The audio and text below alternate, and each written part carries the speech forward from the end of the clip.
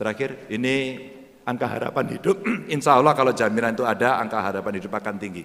Terakhir lanjut. Maka Bapak Ibu, tugas kita adalah fastabikul khairat.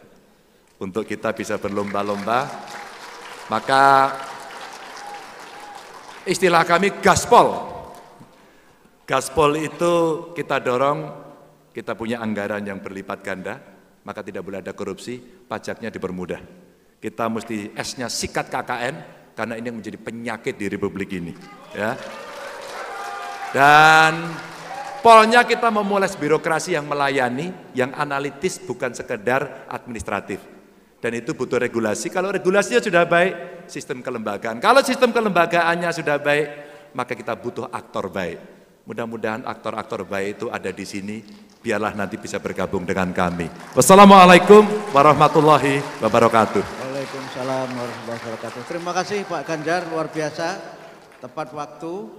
Dan saya langsung saja pada para panelis kita yang sepertinya sudah tidak sabar menunggu. Kita mulai dari mana dulu ya? Dari Pak Rektor lah sebagai